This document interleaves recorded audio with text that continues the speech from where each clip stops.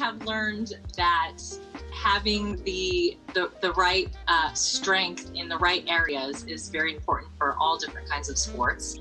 But because I chose running, you know, you have to you have to figure out how to strengthen those parts of your body that are needed for that sport. I feel like I have accomplished that so much. Like I can't even believe the difference in the way that my body feels while I'm running and while I'm just living, you know, all of it.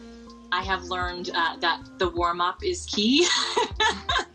I was a dancer, and obviously, as a dancer, you warm up. You do a whole ballet barre, you know, before you perform, which could be, you know, a 30 to 40 minute process.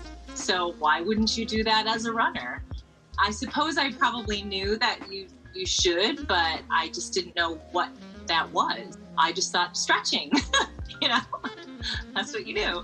So I feel that that is just a tremendous education to know what to activate, to foam roll, to do all of that before you go out. You know, it's just has to be part of the what you put in the schedule for for how long it's going to take you to execute execute your workout that day. Like you just have to do it.